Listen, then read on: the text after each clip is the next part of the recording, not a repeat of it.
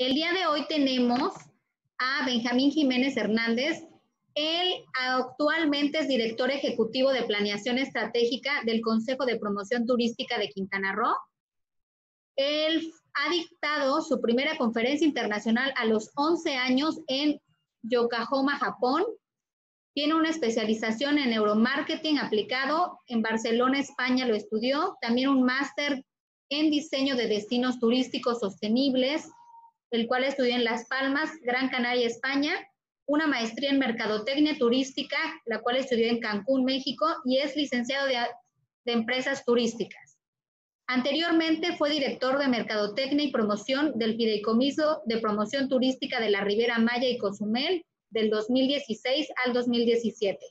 Encargado del despacho de fideicomiso, del Fideicomiso de Promoción Turística de Gran Costa Maya en el estado de Quintana Roo, México.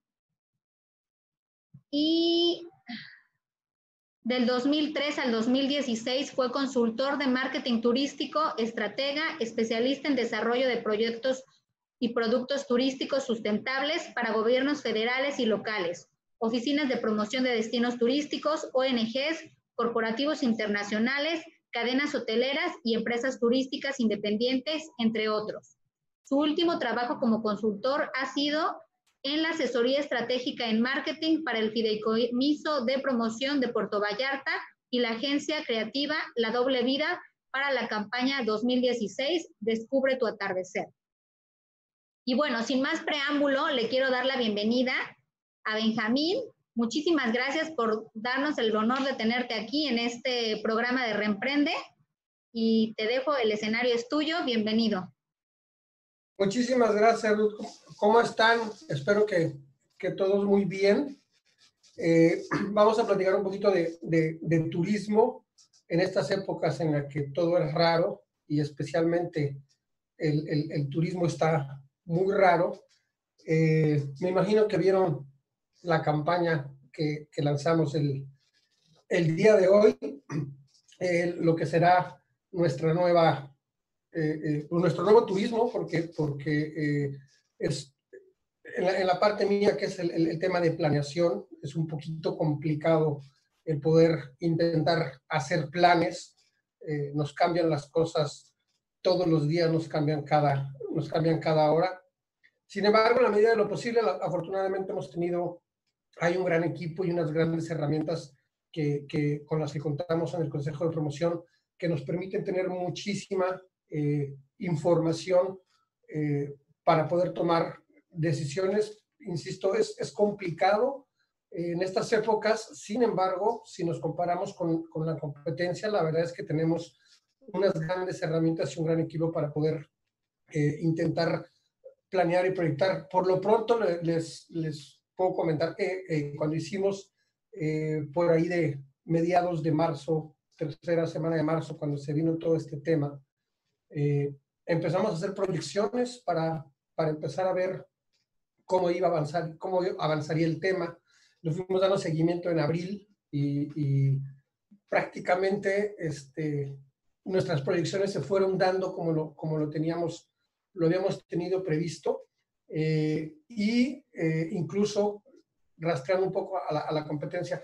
Les voy a platicar, les voy a hablar de turismo, pero qué mejor que, que hablarles del turismo del Caribe mexicano, sí consideramos que, como ya vieron, creo que ya se han, se han dado cuenta, sobre todo en estos dos días, eh, somos destinos líderes a nivel mundial. Este, estamos dando pasos muy grandes. Ayer con la, eh, esta certificación o este sello que nos, nos otorga el, el, la WTTC, eh, hoy con la campaña, sabiendo que nuestra competencia, muchos destinos en el mundo no han eh, podido todavía eh, armar alguna campaña, poder anunciar alguna, alguna apertura. Eh, sabemos ya que líneas aéreas están, no han dejado de volar, están llegando todavía este, algunas líneas aéreas, incluso desde los Estados Unidos. No necesariamente quiere decir que traigan turistas, pero aquí lo, lo, lo más importante es que no se ha perdido la conectividad como ha pasado en, en, muchos otros lados. Una, porque no, no cerramos como país, es decir, no cerramos las fronteras para recibir, para recibir vuelos. Y dos, por la importancia que tiene el aeropuerto de Cancún para muchas líneas aéreas. El hecho de, eh, no dejar de volar significa para ellos no, no perder esos espacios eh, que tienen para después ser mucho más complicado el generar otra vez la ruta, etcétera. Bueno, muchas nos han favorecido que no, no han dejado de, de, volar. Les voy a presentar un poquito de lo que es el plan, eh, el plan que tenemos para, para esta reactivación. Eh, si ya vieron la campaña, hoy van a ver todo lo que es el sustento de la campaña, es decir, todo lo que, hoy lo que vimos fue muy gráfico, fueron videos, etcétera, pero atrás hay toda una, una investigación que nos permitió eh, llegar a tomar esas decisiones de, mensajes, mercados, quién va a ir primero, este, hacia qué mercado vamos a, lanzarnos, etcétera. Les voy a compartir eh, un poquito el, permítanme un segundo.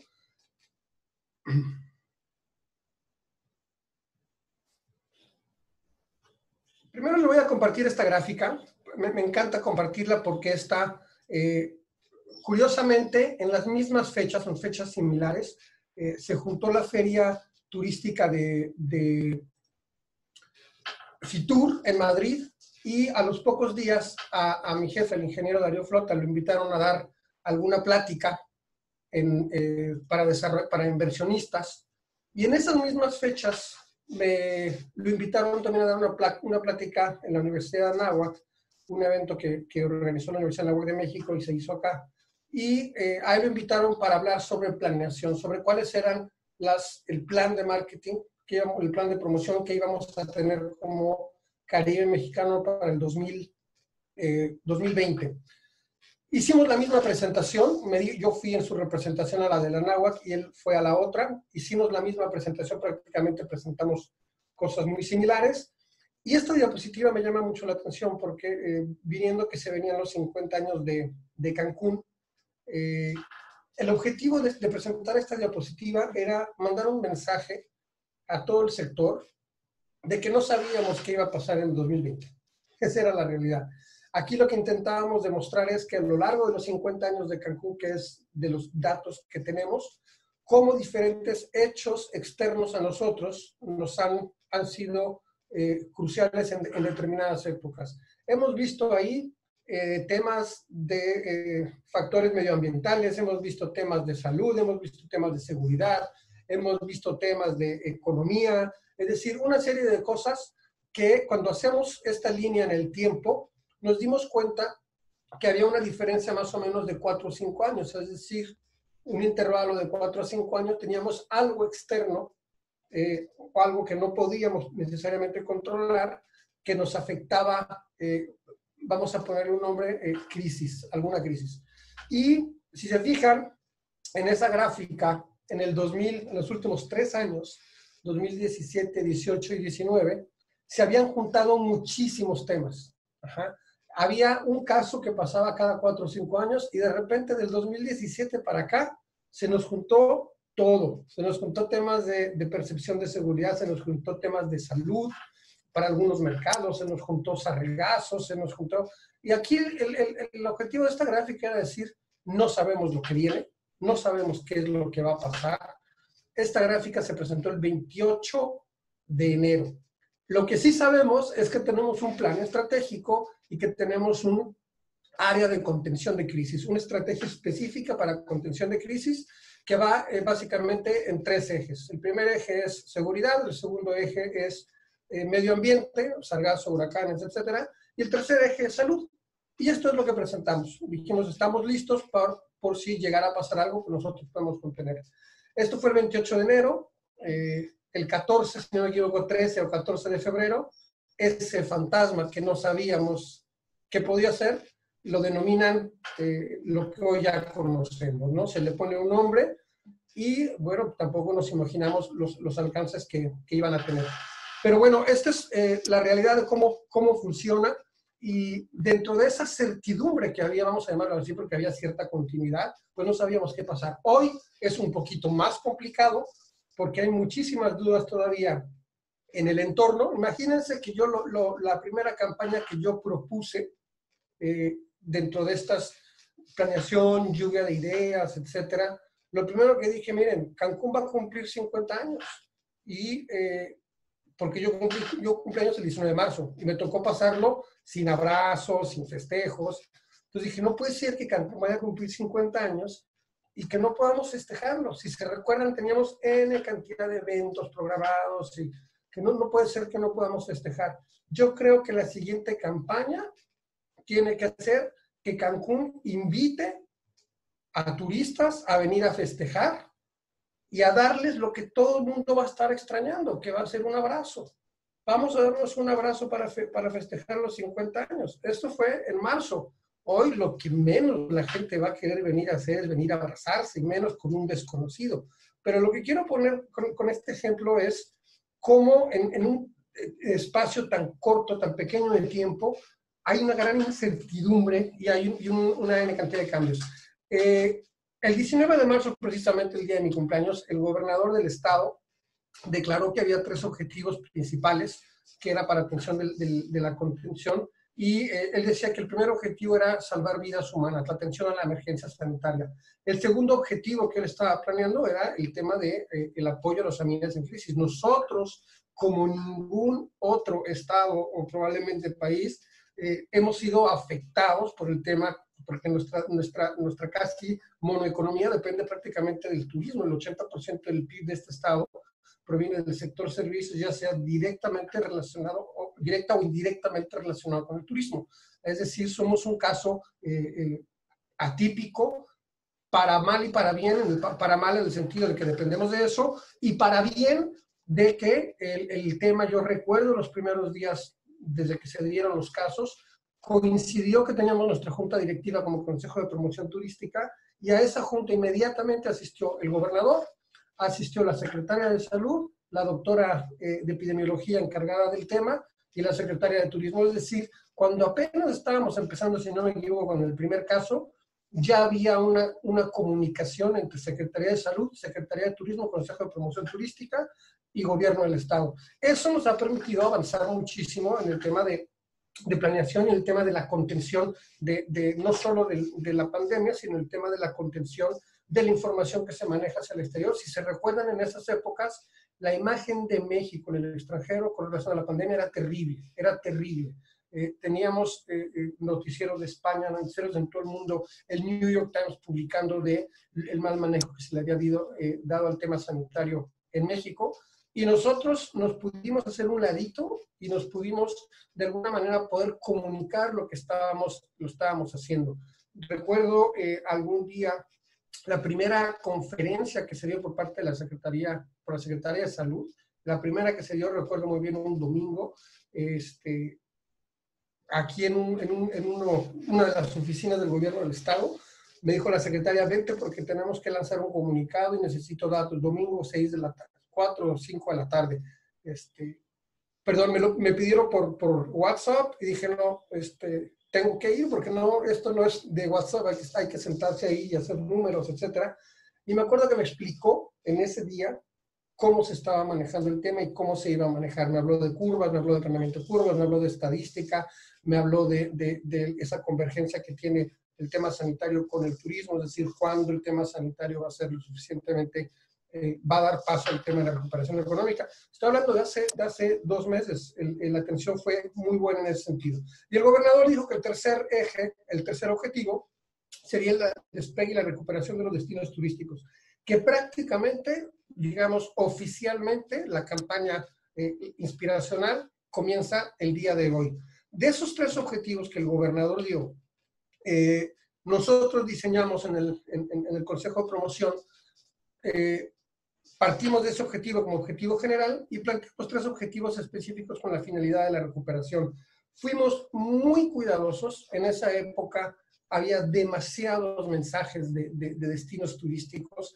Eh, y no sé si recuerdan la famosa frase, cuando todo esto pase, cuando todo esto pase, cuando todo esto pase. nosotros no vamos a enviar ese tipo de mensajes a la gente que está en contención, a la gente que está pasando por temas sanitarios, a la gente que probablemente este, conozca a alguien que se haya fallecido, que esté hospitalizado, eh, que estén en confinamiento, que no sé qué tantos rollos psicológicos pudieran tener, no les vamos a mandar mensajes equivocados, no los vamos a presionar, no les vamos... La gente sabe que cuando estén, cuando estén listos para viajar, van a viajar. Y es muy probable que cuando ellos estén listos, nosotros estemos listos. Entonces, eh, tratamos de ser muy empáticos eh, eh, con, con, la gente. Esos objetivos era conectar con todo el sector turístico, es decir, conectar con medios, lo que ya, lo que ya comentamos, conectar con todo el sector prácticamente. Nos reunimos con campos de golf, con turismo de reuniones, con un segmento de romance, este, con buzos, con todo el mundo nos estuvimos reuniendo para saber eh, cómo estaban ellos y para saber cómo veían sus mercados. Y en la segunda fase que, que, tendríamos, perdón, el segundo objetivo sería el tema de inspirar. Es decir, cuando nosotros consideráramos que estuviéramos listos y que los mercados empezaran, eh, eh, estuvieran listos, íbamos a empezar a comunicar. Es decir, la campaña que vieron el día de hoy no es una campaña que sale a nivel mundial y sale para todos los mercados, porque hay mercados en los que no podemos ahorita enviar mensajes equivocados. Sí, sabemos que las redes sociales, eh, cualquiera de cualquier parte del mundo puede ver el mensaje, pero no, no eh, tratamos de no ser invasivos, porque sí, ustedes saben que la mercadotecnia eh, hoy puede ser un poquito invasiva a través de los temas digitales. Bueno, nosotros hemos sido muy cuidadosos en ese sentido. Y la tercera es la de la conversión, es decir, el ya generar reservaciones. Eh, después del, del, tema de inspiración. Estos tres objetivos los hicimos en tres estrategias. Bueno, esta, esta gráfica es parte de una de las tantas tablas gráficas que hemos hecho, que hemos cambiado, que hemos desechado, que hemos este, dándole vueltas hasta arriba, para abajo. Esta es, digamos, una de las más recientes que probablemente habrá que actualizarla nuevamente donde escogimos a nuestros 10 principales, o nuestros principales mercados estratégicos, los cuales suman casi el, el más del 85% de todos los turistas de nuestro estado, es decir, de, casi 15 millones de turistas que nos visitaron el, durante 2009. Eh, son más o menos 15 millones de turistas y son poco más de 22 millones de visitantes. Es decir, esto incluye eh, la gente que viene en crucero, tanto a Cozumel como a, a Y de ahí empezamos a diseñar, eh, empezamos a ver cuándo empezaban esas fechas de apertura de nuestros mercados. Después nos dimos cuenta que no necesariamente esas fechas iban a coincidir con las fechas de viajes. Si se recuerdan, eh, España dijo, yo abro en mayo, pero quien salga del país tiene que regresar a cuarentena. Y lo mismo dijo Italia. Y entonces empezamos a, medir qué países, cuándo habrían, qué medidas estaban tomando, para a partir de ahí ser muy específicos, muy quirúrgicos en el tema de, de, las campañas y de los mensajes, para que llegaran no solo al país indicado, sino a los estados indicados. Ustedes saben que hoy en día eh, no necesariamente un país abre sus puertas, sino que hay estados dentro de un país que pueden abrir sus puertas y hay otros estados que no. Lo mismo nos está pasando aquí en México. Para darnos una idea, es, eh, es muy probable que nosotros abramos y lo que primero pensábamos que serían nuestros primeros visitantes, que serían los yucatecos, es muy probable que ellos no puedan salir. Entonces, a, ese nivel de cambios se están dando todos los días y a ese nivel de estratégicos hemos tratado de ser eh, es una labor muy interesante porque, eh, si se fijan, pues son, tan solo de ahí son 10 mercados y somos 12 destinos turísticos. Y entonces el tratar de tejer todo, porque no todos nuestros destinos turísticos atienden a los mismos mercados. Es decir, eh, Chetumal no ha tenido vuelos internacionales más allá de la Ciudad de México, entonces no necesariamente se le promueve para el mercado de Estados Unidos, pero sí para Belice. Ellos dependen mucho de los visitantes y de los turistas que vienen de Belice, que van de Mérida, que incluso que van de Cancún.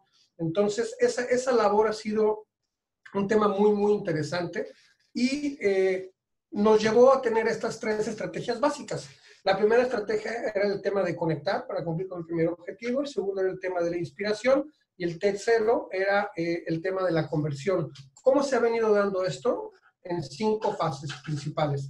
La primera fase que digamos que oficialmente termina el día de ayer o el día de hoy con el lanzamiento de la nueva campaña, ya les comenté, estaba basada en el tema de la empatía.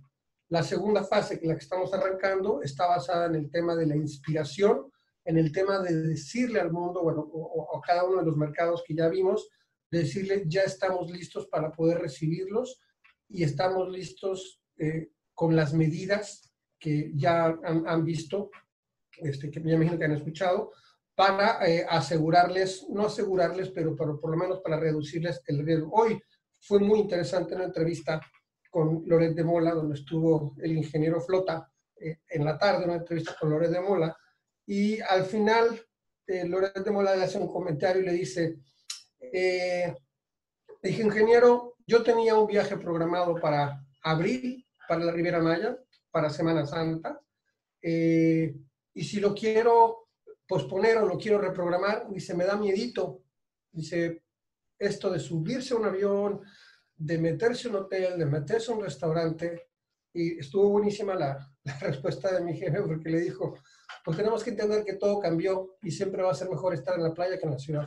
Entonces, ese tema nos hemos sido muy cuidadosos en eh, comunicar las medidas que se están llevando a cabo por parte de la Secretaría de Turismo, pero sobre todo sobre, de, de las empresas, que son los, este, quienes han tenido sus protocolos adicionales a los que ya tiene la Secretaría de Turismo.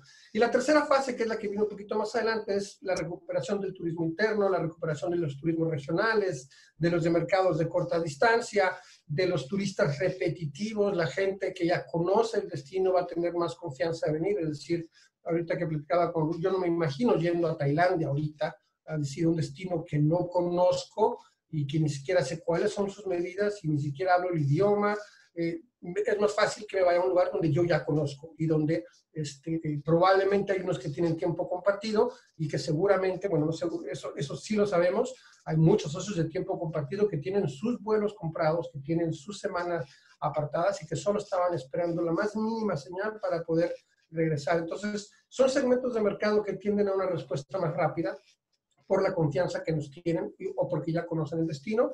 Y eh, la otra fase era el tema de la reprogramación eh, de segmentos que sabemos que no necesariamente cancelaron, por ejemplo, eh, una boda. Una boda no necesariamente cancelaron la boda, sino lo único que hacen es posponerla.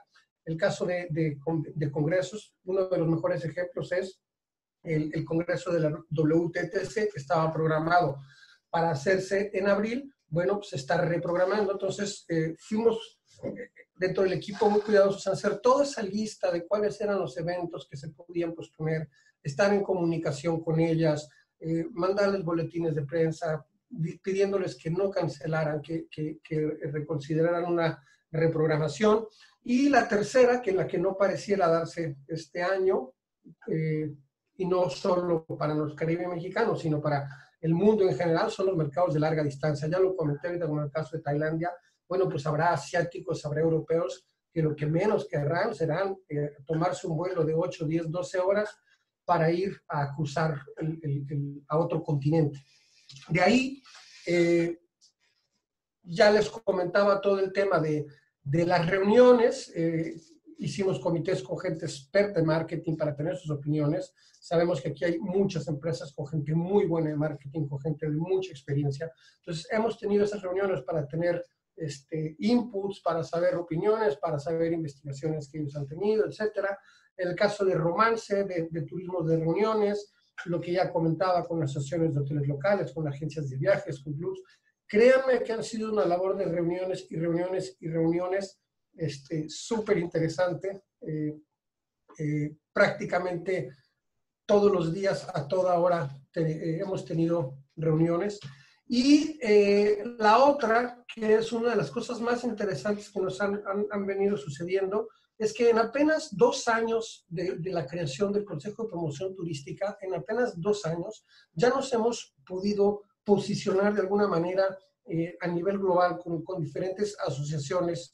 Eh, somos socios o miembros de, de, la OMT, somos socios miembros de la WTTC, de asociaciones como NPI, SITE, ICA, PCMA.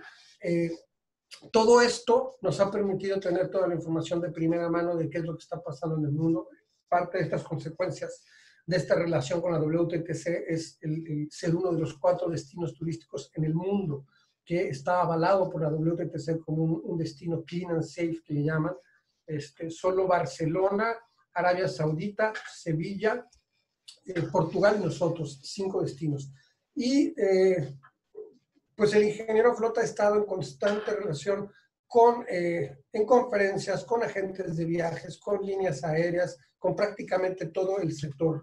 Todo es como parte de la, de, del conectar. Y lo que les comentaba con líneas aéreas, con OTAs, para saber cómo van las, el pace de las reservaciones, a qué, a qué fechas están reservando, dónde se están moviendo las reservaciones, con las líneas aéreas para ver, ya vimos ahí que hay dos que ya se declararon en bancarrota, son las dos de abajito, que es Avianca, que me parece que la TAM ayer también ya lo, este, se declararon en quiebra, perdón. Y eh, aquí pues hemos ido haciendo una labor específicamente con las líneas aéreas nacionales, con las que estaremos haciéndoles campañas, es decir, nosotros les vamos a poner el dinero y la publicidad para que ellos puedan publicarse sabiendo que algo básico, los turistas van a volar a donde haya asientos de avión disponibles. Y no todas las líneas aéreas van a regresar a volar a todos los destinos que estaban volando. Esa es una, una realidad. Eh, esta campaña la vieron, que es la de Quédate en casa, fue El, Paraíso Puede Esperar, perdón, una, una campaña donde eh, a mí me encantó lo que hizo el área de marketing porque este, le dieron completamente la vuelta a todos los mensajes que había en el mundo, donde decían, este, imágenes hablando todo sobre el tema, sobre la pandemia, la pandemia, hablando de lo negativo, y al final decían, y cuando todo esto pase, pues ya puedes visitar. Eh, nosotros dijimos, no, vamos a darle toda la vuelta y vamos a hablar de las cosas buenas que suceden. Vamos a desintoxicar toda esa información que anda ahí arriba y vamos a hablar de las cosas buenas. Y entonces eh, empezamos a hablar de la naturaleza, escuchar la naturaleza, de la regeneración que estaba teniendo eh, todo el, medio ambiente y esos esos mensajes fueron los que estuvieron saliendo. Eh, tenemos nuestras agencias de, relaciones públicas, tanto para los mercados de Norteamérica, tenemos una específica para temas de contención de crisis en Estados Unidos y Canadá, tenemos una para Latinoamérica, tenemos una para México, y además de las reuniones que hemos estado constantemente con ellos, no hemos parado de mandar boletines, y boletines que diciendo que lo mismo, las cosas positivas que han estado pasando, porque pareciera que todo es negativo y la verdad es que no, nos hemos dedicado a, escuchar lo que dicen los mercados, eh, perdón, el sector turístico, la naturaleza y esos son los mensajes que, que, se enviaron hasta el día de ayer. Y de ahí se dio paso a todo lo que era ya el tema de la inspiración, que es la que, la que vimos hoy, donde eh, se, se, tuvo ahí varias propuestas creativas, se decidió por, por tener la de The Best of Two Worlds, o lo mejor de dos mundos, el, la generación de los contenidos con todo lo complicado que puede significar salir a grabar, porque este, la recomendación es quédate en casa, pero por el otro lado la tentación de salir a grabar porque la naturaleza está más espectacular que nunca, porque no hay gente, es decir, el, mejor momento para grabar, bueno, eh, con, nuestras imágenes más lo, lo, que se pudo levantar, pues se armó lo que, lo que ustedes ya vieron y eh, el tema de hoy, el lanzamiento de la, de la campaña. Lo mismo ya la vieron, se aterriza perfectamente para todos nuestros segmentos de mercado. Es una campaña muy bien pensada porque tiene, tiene para estirarla, estirarla, estirarla, para darle vuelta, para, eh, imagínense un, un, hotel, un hotel puede este, hacer la misma campaña que diga lo mejor de dos mundos, donde pongan ellos sus mejores cosas. Probablemente de un lado vaya el servicio, del otro lado sus instalaciones bonitas y se suba de esta manera con el mismo mensaje de lo mejor de dos mundos, adaptado a cada una de las empresas y a cada uno de los negocios del Caribe mexicano. Esto tiene para multiplicarse de, eh, bastante bien. Y esta es la parte que vieron hoy, el juntar a 1.600, casi 1.700 personas para el lanzamiento de la campaña con la, y en la mañana con medios de, con, con agentes de, perdón, medios de comunicación, hubo más de 150 medios de comunicación a nivel nacional, con la única finalidad de replicar, replicar, replicar, compartir, multiplicar la información. Ya salieron eh, publicaciones hoy en día en diarios nacionales, se envió la información a agencias, es decir, ya todo el mundo tiene la información y esperemos que esto se haga un, un, tsunami de, de, de buenas imágenes y de buenos mensajes del Caribe mexicano. Esto fue algo que está ahí quedó sobre la mesa, no está cerrado, tampoco está confirmado. Se nos surgieron ideas de por qué no hacer una campaña con Corona, por ejemplo. Quienes recordarán, eh, Corona hacía campañas en las playas del Caribe. Entonces, ¿por qué no hacer una campaña con alguna marca que no necesariamente sea turística, que tenga presupuesto y que pueda sumar a nuestro presupuesto que, tenemos?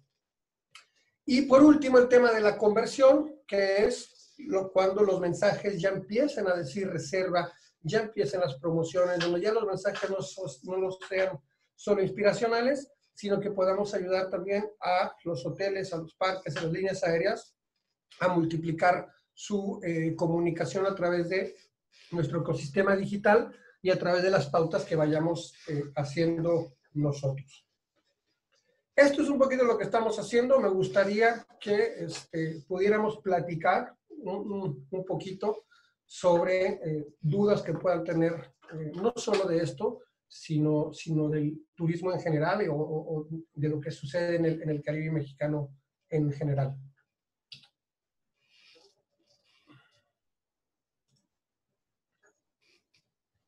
¿Cómo, cómo será la dinámica? Nos, eh, ¿Me leerán las preguntas? ¿Las leo?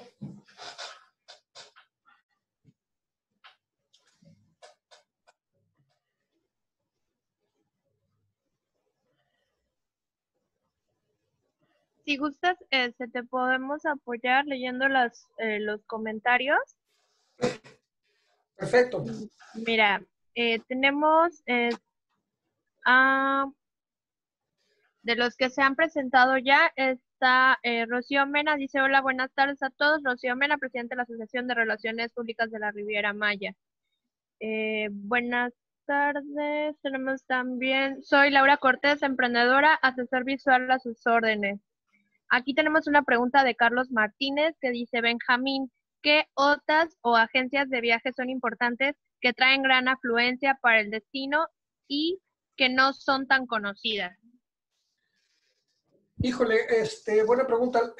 mira, para darnos una idea, el turismo, las agencias tradicionales de las cuales dependíamos durante mucho tiempo, hoy eh, no van más allá del 30-33% de la participación, es decir, 3 de cada 10 turistas, podríamos decirlo de alguna manera, vienen con estas agencias de viajes tradicionales. Eso es, hablo del Caribe mexicano.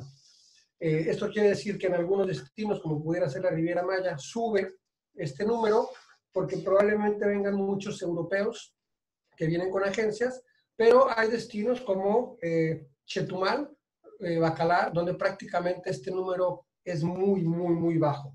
De ahí, quienes siguen incrementando su participación eh, como intermediarios son las OTAs principales. Y también, insisto, depende mucho de los mercados. Sabemos que hay una tendencia, por ejemplo, de los europeos que utilizan mucho Booking, hay una tendencia de los estadounidenses que utilizan mucho Expedia, en Sudamérica este, Price Travel, en México se utiliza mucho Best Day.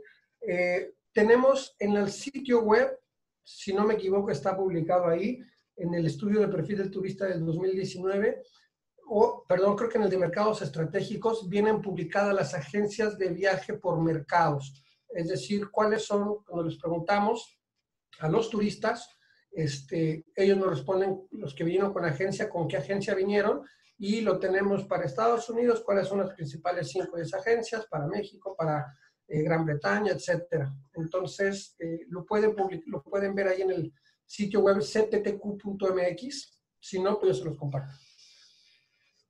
¿Nos lo podrías repetir, por favor? CTP. cptq.mx.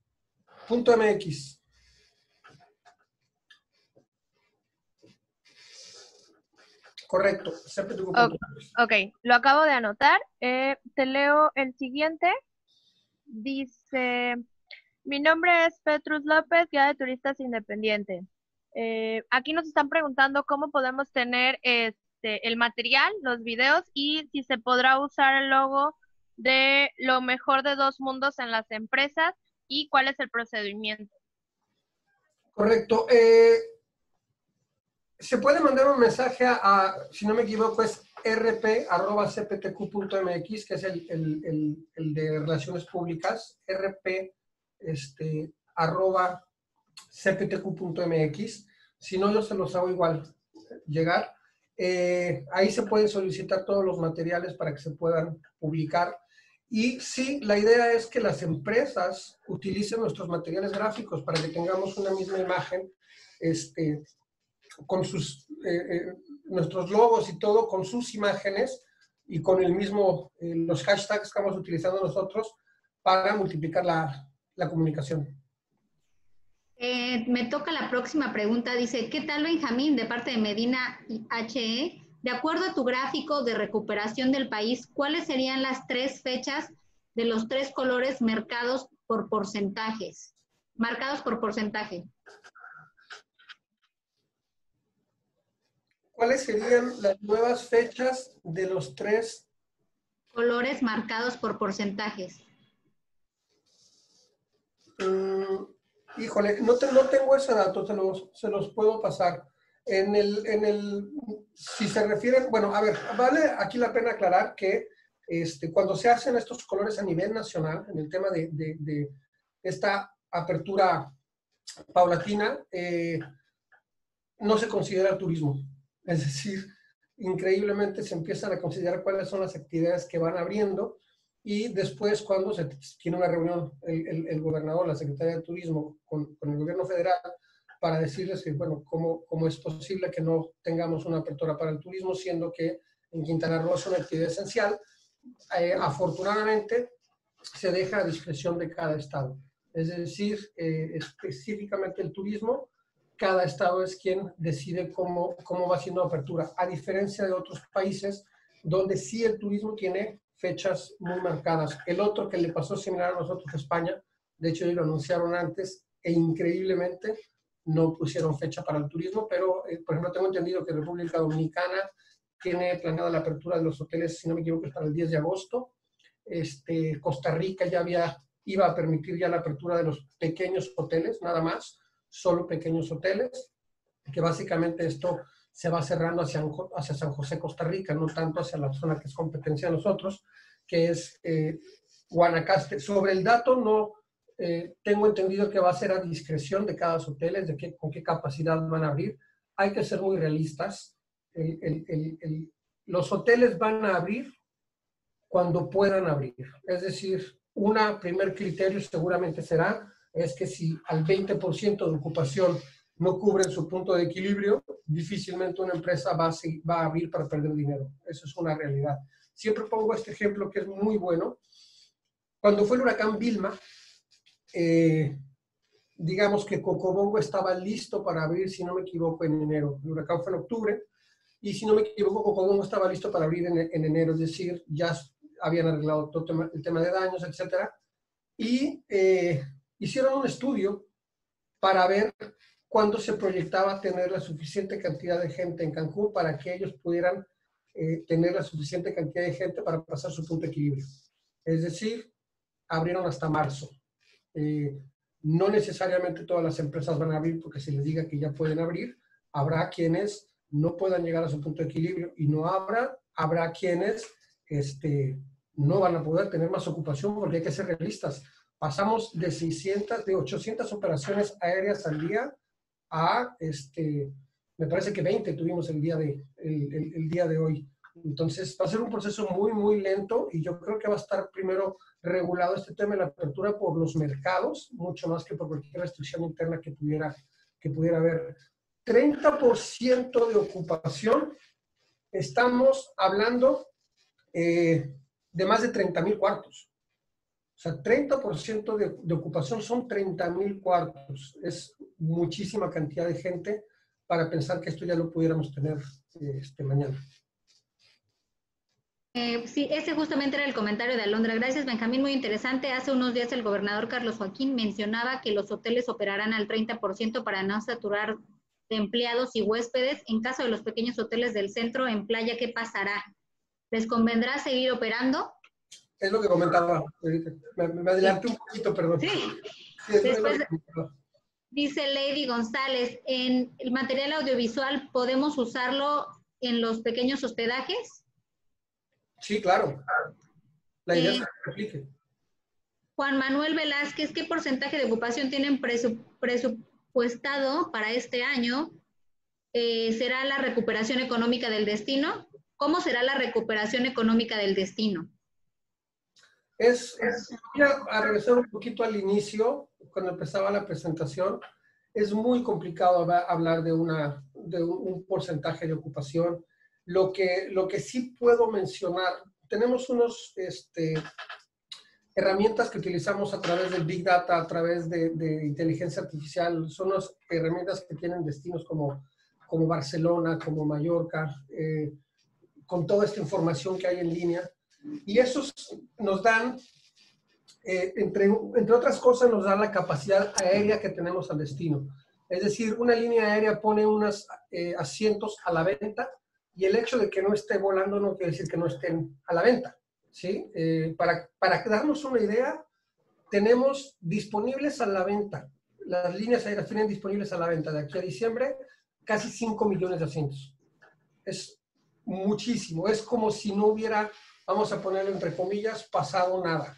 Es decir, muy pocas líneas aéreas eh, retiraron, eh, como el caso este, de Copa, por ejemplo, retiró eh, algunos vuelos que ya no se abrieron, que se iban a abrir de, con Viva Aerobús hacia, hacia La Habana, un vuelo con Aeroméxico que se iba a ir a Chetumal, que tampoco ya abrió, pero la mayoría de las líneas aéreas no retiraron los vuelos. Y esta herramienta nos permite, uno, saber cuál es la capacidad aérea, dos, búsquedas de vuelos, es decir, cada vez que la gente se mete a internet y busca un vuelo en las diferentes plataformas como TripAdvisor, este, como Kayak, en cualquier plataforma donde pueda buscar un vuelo, nosotros recuperamos toda esa información y sabemos para qué fechas buscan, sabemos de qué aeropuertos nos buscan, sabemos también si buscan para la competencia, para Punta Cana, para Montego Bay.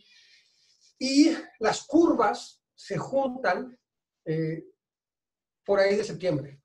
Es decir, en septiembre, en teoría, estaríamos teniendo el mismo nivel de búsquedas, el mismo nivel de asientos que teníamos el año pasado.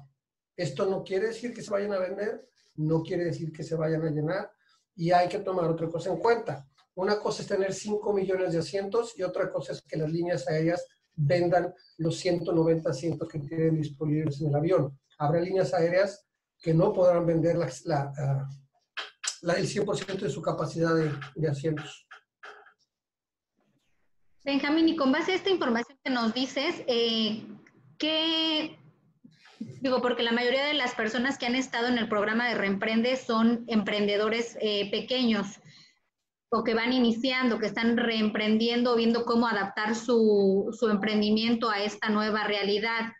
Eh, ¿Qué pudiéramos como comentarles hacia qué enfoque en sus proyectos? O sea, me refiero, se está esperando que los primeros eh, turistas que lleguen vengan de qué destinos? ¿De España? De, o sea, como lo mostrabas en tu gráfica. Yo me iría a lo básico. Yo me quiero ir a, yo me quiero ir a, Playa del Carmen, a Tulum el, domingo ya. O sea, a ese nivel de, de básico, de este, esperando que los de Cancún vayan a Bacalar, esperando que la misma gente interna empecemos a viajar. Este, creo que a Holbox no se va a poder, andar muy cerrados con sus medidas. Eh, de hecho, hay dos personas de Holbox aquí. Sí, tengo entendido que son tres cruces a la semana y andan muy celosos en el tema de, de, de, restricciones para entrar y es completamente válido. Este, es, por un lado eso y por el otro lado, pues ya tenemos eh, avisos de vuelos de Ciudad de México, ya tenemos eh, avisos de vuelos de, de Atlanta. Decir de qué región específicamente es complicado. Es, insisto, nos fijamos más en los segmentos, en los segmentos, eh, si son los repetitivos, si son los de tiempos compartidos, etc. Y, eh, por ejemplo, Estados Unidos, la búsqueda, esta, esta búsqueda que comenté de vuelos, nos dan mucha actividad de búsqueda de vuelos de Florida, de Texas y de California, por ejemplo. Ok. Continúo con las preguntas. Dicen aquí, eh, ¿qué tipo de contenidos han, han tenido mejores resultados? Eh, ¿qué tipo de contenido recomiendas para promocionar hacia viajeros internacionales y nacionales? Eh, en el caso de ahorita no he visto, no he tenido tiempo de, ver cuáles son, cómo está funcionando la, la, campaña. Lo que sí es la tendencia, y se los comenté en el, en el, tema del plan, si se fijan, hablé de empatía, hablé de integración, hablé de conectar, Hoy el tema son emociones, son sentimientos, la gente necesita confianza, la gente necesita que los entiendas. Este, hoy incluso el ingeniero Flota habló mucho de la relajación, de las buenas vibras, es decir, contenidos que ven ligados hacia los temas emocionales. Es muy difícil saber cómo se siente la gente. El confinamiento no todos pasamos por esto de una manera similar. Es muy difícil saber cómo se sentirán. Hay muchos sentimientos que dan vueltas por ahí, como puede ser el miedo, lo comentaba el, comentario este de Loret de Mola hoy en la tarde. Habrá gente que quiera salir a, a, a relajarse, a tirarse una playa, habrá gente que quiera salir a comerse el mundo, porque literalmente tienen dinero, van a tener tiempo y lo único que tenían eran, este, no tenían era libertad. Habrá gente que vaya a salir a quererse comer el mundo, pero el tema son, son, eh, es emocional. Hoy tener contenidos que hablen necesariamente de qué playas tan bonitas o que hablen de, de, qué naturaleza tan bonita, son contenidos que no necesariamente conectan, sino el tema de, de este, de, conectar emocionalmente. Personas, imágenes con personas ayudan mucho.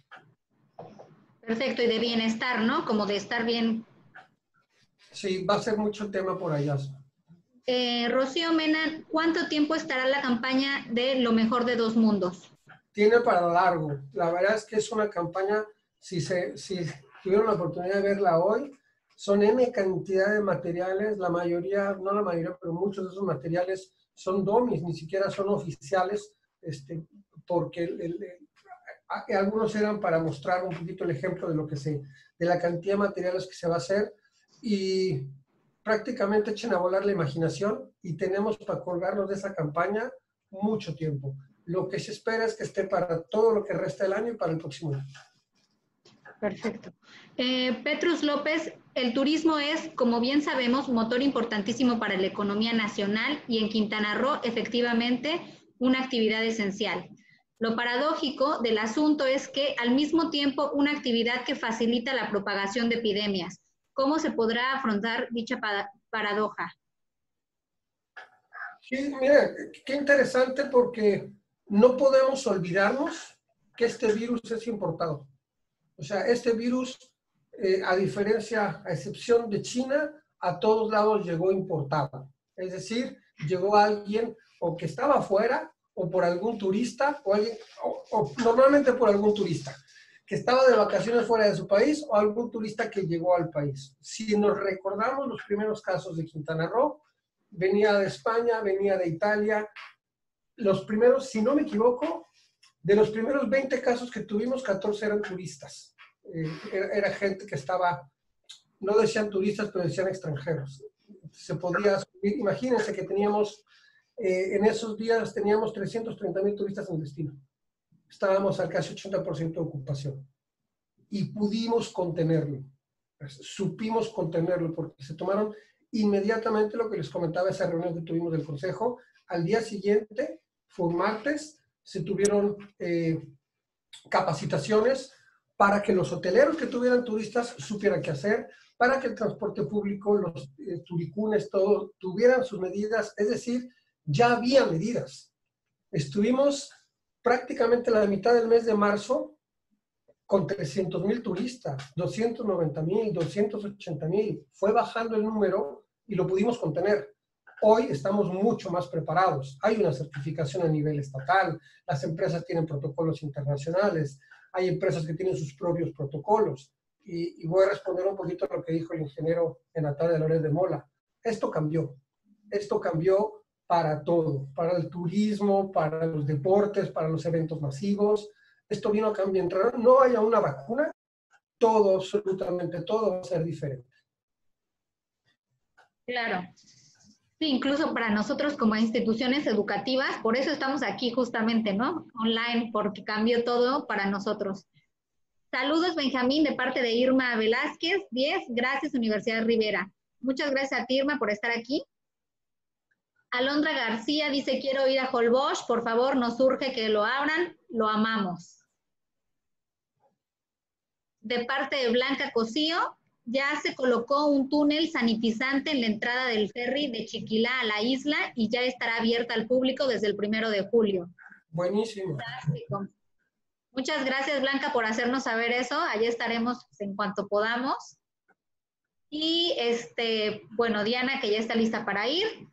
No hay más comentarios. ¿Alguien que quiera hacer otra pregunta? Bueno, Betty dice, ¿y qué tanto convendrá sugerir a los turistas internacionales y nacionales viajar por otras partes de la península o hasta Chiapas?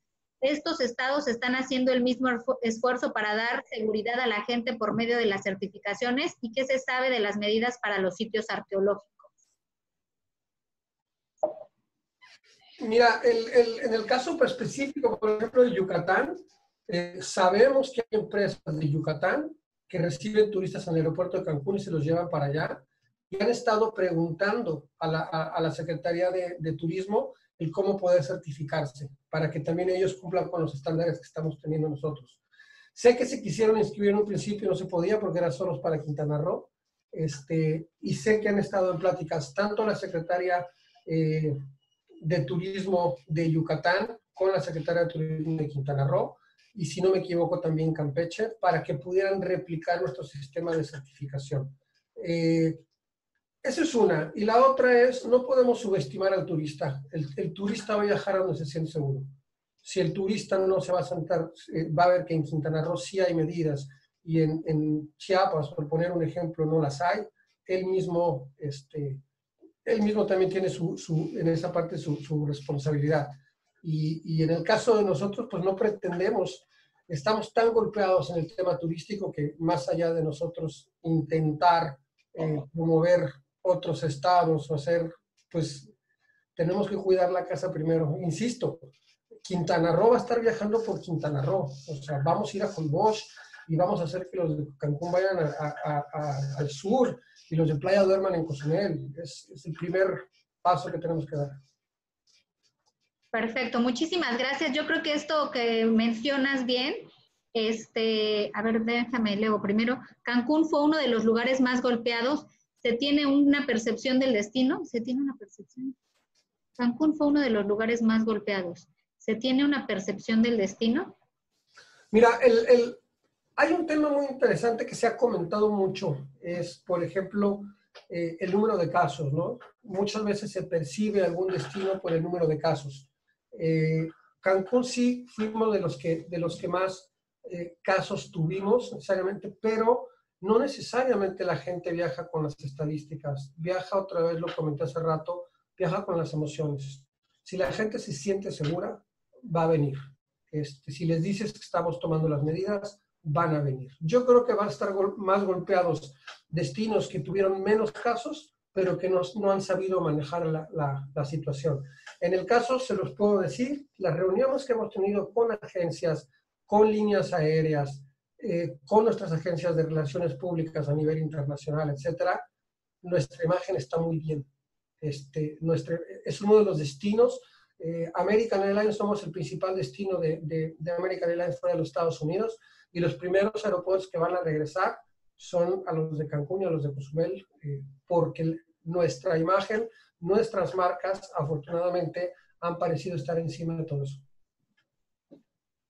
Excelente, pues bueno, yo lo que quería decir es que de alguna forma u otra, como bien lo estás mencionando, nos toca a todos cuidar la casa por medio de lo que hagamos. Nosotros como institución educativa, fomentar eh, las buenas pláticas, eh, las, los, el, el hacer buenos comentarios sobre nuestro destino, el hablar bien del mismo, si estamos en relaciones públicas, hablar bien de nuestro destino, tenemos un restaurante, hacer lo mejor que nos toca para que le demos esa certeza y esa seguridad al turista que nos viene a visitar y que sepa que Cancún, la Riviera Maya y todo Quintana Roo siempre estamos trabajando para mejorar y para, y para cuidarlos a ellos porque son a final de cuentas quienes nos traen el bienestar a Cancún y a, la, y a todo Quintana Roo.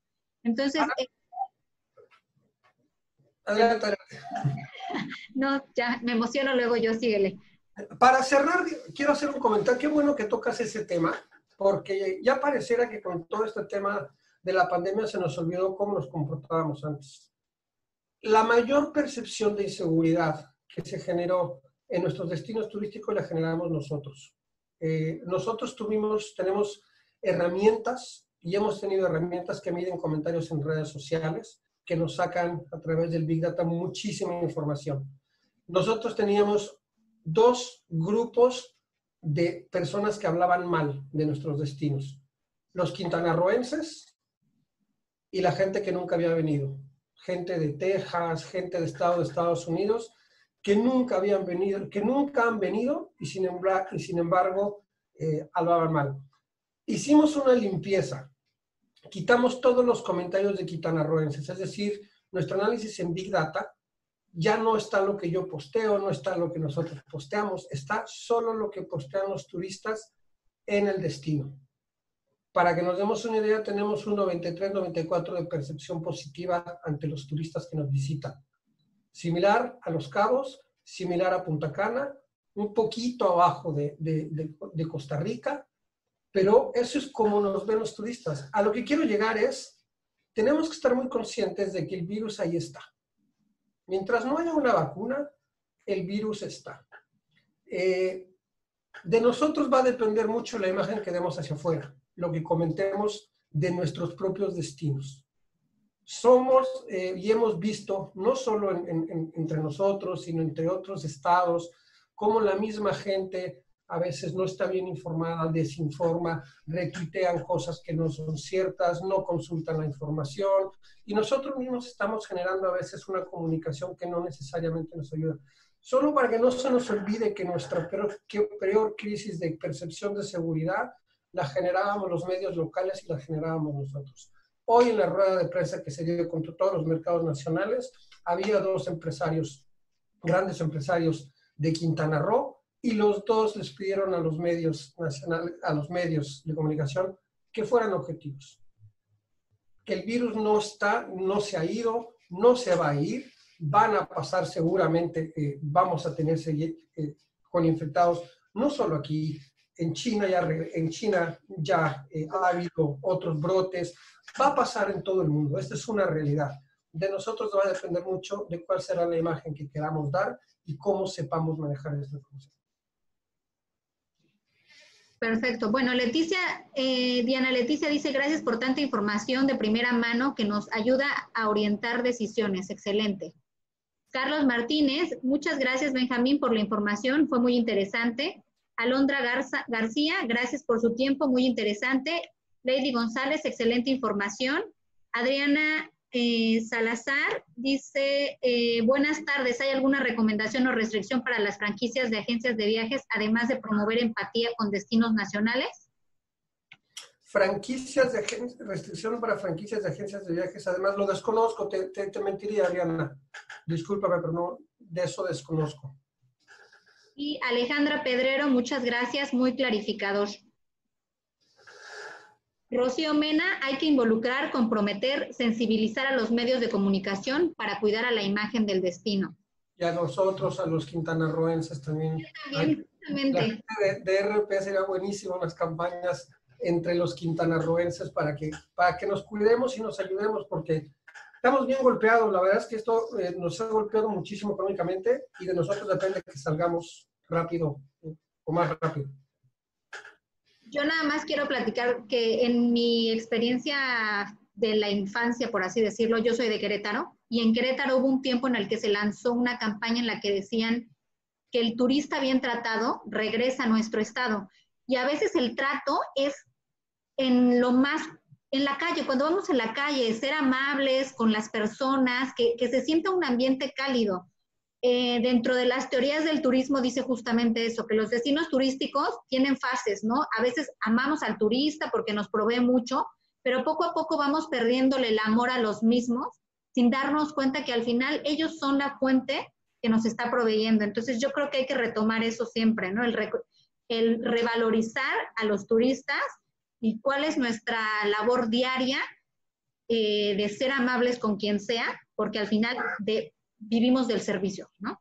Somos una industria turística que vive del servicio. Casi uno de cada dos turistas que nos visitan ya habían regresado, son repetitivos. Y hay destinos turísticos como Cozumel, que si no me equivoco está arriba del 60% de repetitividad. Este, eso habla bien y esperemos que, este, que lo mejoremos todavía más. O sea, es, es muy loable tener el 50% casi de repetitividad. Esperemos que sea más, porque eh, lo que es un hecho es que el traer nuevos turistas es un reto para todo el mundo. ¿sí? Los turistas repetitivos son los que van a salvar muchos destinos. Excelente. Pues ya nada más para concluir, te leo tres mensajes más. Eh, Rocío Mena, que es la directora de, la presidenta de la Asociación de Relaciones Públicas, dice, yo le he propuesto a Darío hacer un esfuerzo para trabajar en una campaña de promoción nacional. Se propone que trabajen juntos en ello. Buenísimo. Eh, sí, alguna vez me escuchó, me, tocó escuchar, Rocío, en alguna reunión y sí, y estoy completamente de acuerdo. O sea, tenemos que, eh, hoy más que nunca trabajar de la mano este, todos los sectores, porque pues, vivimos del turismo todos. Guillermo dice, Benjamín, excelente manejo de datos para toma de decisiones. Gabriela Galvez, gracias por la información, muy interesante. Rocío Mena, es una inversión y esfuerzo muy fuerte y hay que sociabilizarlo a nivel local. Diana Santos, somos el destino. Muchas gracias, Benjamín, por toda la información que nos compartes. Ariadna Hernández, creo que se debería de dar una capacitación a toda la población para un buen trato al turismo. Creo que desde las escuelas se podría implementar eso. Pues ya se implementó la, desafortunadamente no fue un buen tiempo, la cartilla turística. Eso es algo histórico que hizo la Secretaría Estatal de Turismo, el meter la cartilla turística a los terceros de primaria y tuvo tanto éxito que se iba a meter a cuarto y a quinto de primaria también y tuvo mucho éxito y mucha gente le empezó a, a pedir, bueno, desafortunadamente nos, nos agarró este medio, pero hay que sembrar a futuro, hay que, eh, eh, este, esas generaciones son las que finalmente van a estar aquí tomando las riendas mañana y tienen que saber la importancia que representa el turismo para todos nosotros. Perfecto. Pues bueno, yo nada más agradecerte, Benjamín, por estos 10 minutos extra que nos diste de tu tiempo, por resolver todas nuestras preguntas.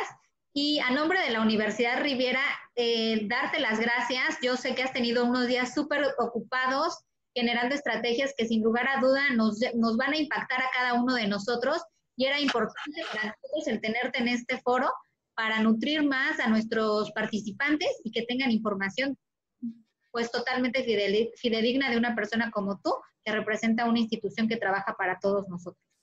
Muchísimas gracias, muchísimas gracias a todos, saludos a todos ahí, este, veo que tengo muchos saludos, les agradezco mucho y cuídense mucho.